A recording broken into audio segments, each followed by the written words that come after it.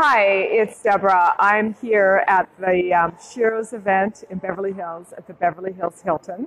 As you can see, I am a superwoman right here. Yes, a superwoman.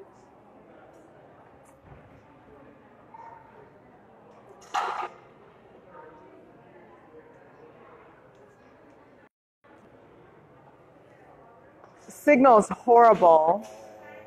Yeah. It's trying to go live. Trying to go live. I know. Dang, you did that last time. So, you know, I ran into this. Connection available. Go live. Go live. Okay, give me a second.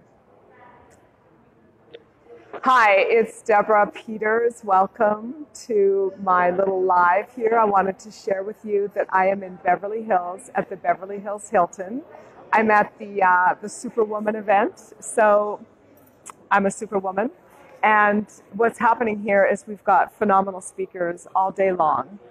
There's an amazing panel on right now, and it's really all about being able to make that shift. You know, for decades and centuries, we've had women on the back burner. We've had women on the back burner in business. We've had women on the back burner in terms of rights.